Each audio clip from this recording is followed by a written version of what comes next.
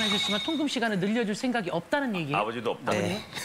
그건 좀 아버지- 고민할 것 같아요. 저도. 아버지 은근히 엄마보다 지금 아버님이 지금 더, 더 저기신데 이해는 하는데 내는 안 우리 된다. 우리 애가 캐치고도 작고 좀 아좀 치우면 되죠. 그 성격 성격도 그렇게 쾌활한 편이 아니라 아직까지 집에서 우리 애기 우리 애기 그러고 있어요. 제가. 근데 지금 우리 애기, 우리 애기, 우리 애기는 다른 애랑 달라요. 결국 그것 때문에 딸은 바깥에서 다른 사람들하고의 관계를 원활히 맺지 못하고 맞아요. 딸이 점점 더 불행해질 수도 있는 거예요. 그러니까 아니 신동엽 씨 얘기하고 있는데 딸이 막 신동엽 씨 눈을 봐봐요. 이 사람이 차라리 우리 아빠였으면 이거는 눈빛으로 너무 고마워가지고 차라리 그런 생각이 살, 살짝 있죠. 예, 아니 아니 왜냐면은 아빠라고 해요. 신아빠. 예, 오빠 한 살더올 오빠 또 만나보도록 하겠습니다. 우리 오빠 원샷을 좀 잡아주실래요? 우리 오빠 원샷.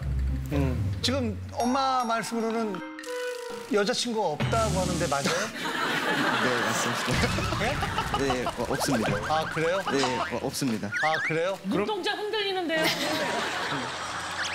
그러면은 받아보고, 아들이 뭐 한시까지 이렇게 데이트하는 건 그건 괜찮다 이거죠? 만약에 여자친구 생기면은. 아들도 그거는 안 되겠죠?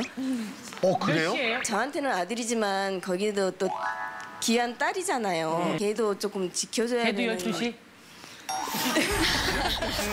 야, 그래서 진짜 청아가 그딴 노래 불렀구나. 청아도 12시대 집에 12시까지 들어가야 시네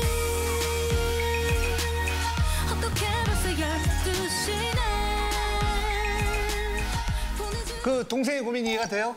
예, 저는 충분히 이해를 하고요. 그럼 저기 오빠께서는 동생이 제일 안타까웠을 때가 언제였어요? 그 어렸을 때 이제 집에 방이 두 개밖에 없었어요. 음. 그래 이제 한 방은 이제 제가 쓰고 있었고 다른 한 방은 어, 부모님하고 동생하고 이제 아, 같이 세 분이 같이 썼어요? 부모님하고 동생하고 이제 아, 같이 세 분이 같이 썼어요? 네 그런 집을 살았던 적이 있었는데 몇 살까지? 제가 직장 다니면서 나오기 전까지